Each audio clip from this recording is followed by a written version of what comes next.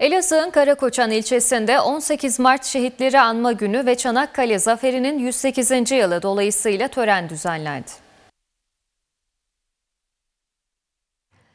Elazığ'ın Karakoçan ilçesinde 18 Mart Şehitleri Anma Günü ve Çanakkale Zaferi'nin 108. yılı dolayısıyla tören düzenlendi.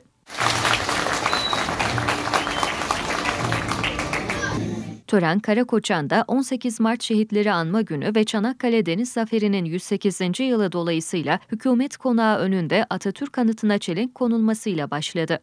Tören saygı duruşunda bulunulup İstiklal Marşı'nın okunmasıyla devam etti.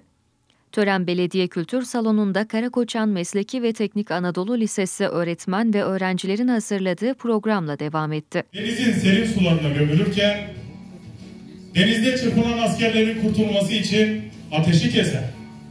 Onları kurtarmak için denize atlayan Saygı duruşu ve İstiklal Marşı'nın ardından Kur'an-ı Kerim tilaveti okundu.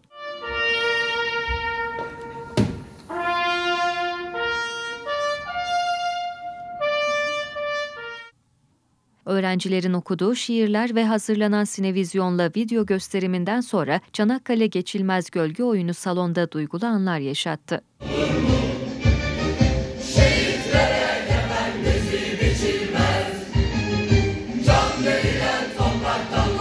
to